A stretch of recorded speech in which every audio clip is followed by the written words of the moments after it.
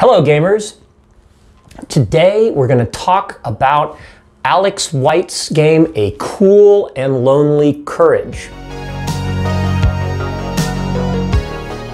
which is a storytelling game about the women uh, of the SOE during World War II in France. Now, the SOE, uh, which is short for a Special Operations Executive, uh, were women from a wide variety of nations and a wide variety of backgrounds who volunteered uh, to go undercover and join uh, the resistance uh, or in the north or the Maquis in the south of France uh, and fight against the Germans during World War II. And um, the game has a really unique storytelling structure in that uh, when you start the game, your character and each of you plays, everyone in the game plays, uh, there's no game master, everyone in the game plays an operative of the SOE, has already been captured and is already in prison under Axis control. And the game begins being told in a series of flashbacks leading up to the imprisonment. Now, when I met Alex White uh, at Metatopia 2019, I was at the IPR slash Jim Light Games booth with New York Jim, uh, and Alex introduced himself and said, I'd wonder if you would be interested in carrying our game. And we said, well, tell us about it. And he started telling us about it, and within one sentence, we both said, yes, we want every copy that you have left over, you know, from Kickstarter. Uh, and he gave it to us, and they all uh, quite reasonably sold. And then he did a, a, reprint, so we have this in stock now. Um, there's an awful lot here uh, in a merely 47 page 6 by 9 role playing game book. Uh, and I mean an awful lot. But before I go into more detail, I need to warn you this is not necessarily a feel good game. It could have a happy ending. Uh, sometimes, sometimes it will, uh, based on the game mechanics. About one third of these women uh, in real life, and this is a simulationist game, a simulationist narrativist game, really, about a real thing. These, these, women really existed, and there's um, biographies and tributes to them in the back of the book. Uh, there's quite a lot here. Um, but one third of them were, were killed, uh, either fighting uh, going down fighting or being tortured and, and murdered uh, in Nazi prisons. That's a real thing, and that is a real, uh, you know, torture and murder uh, or torture and death in a death camp are real possible outcomes for your character. So um, this is not necessarily a feel-good game. This is a game about uh, about exactly what it says: a cool and lonely courage, about heroism and heroines uh, fighting against uh, really overwhelming odds in a foreign land in many cases, uh, though there were French operatives, uh, of course, of, of the uh, SOE. You know, put on your seatbelts and be ready for that experience and be sure you want to have that experience.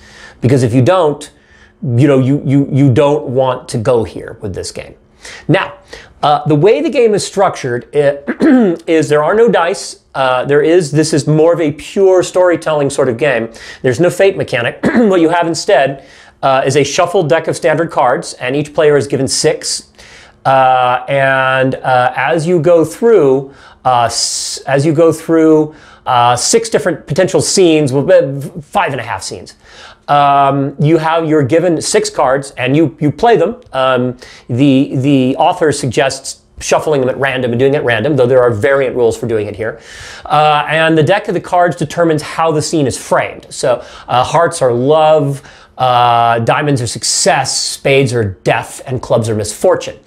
Um, and you have uh, a, a, series of, of uh, steps in which the game is played, starting with arrival, uh, mission, uh, interlude, capture, prison, and a sort of an epilogue scene, which you could consider sort of the half scene, which determines what the eventual fate of your character is.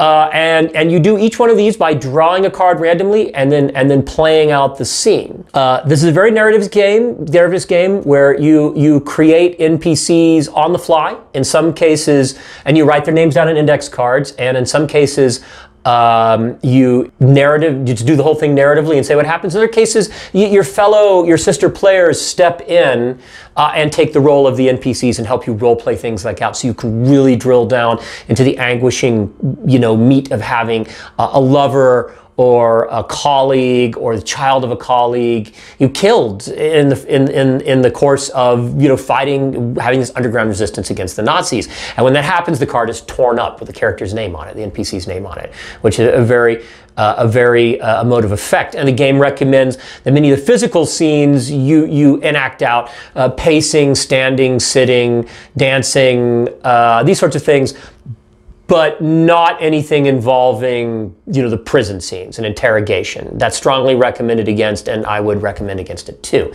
Now there's an awful lot of historical data in this. Uh, it doesn't go into into like huge anguishing detail, but there's enough there where if you don't know much about World War II, you can you can still do the game. Uh, so there's a little bit of meat on the bones, but not too much. It's it's not like endless amounts of of, of historical information. Just just uh, a little bit, un poquito, just a little bit. And I think that's more than enough uh, to play the game if you're not real familiar with the setting. But of course, many of you probably are familiar with World War II and what went on. But if you're not, it's there. Um, so I, I, highly recommend this game.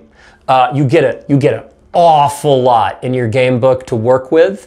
Uh, there's uh, there's a lot of more detailed information in the back, including a lot of suggestions for framing and acting out scenes.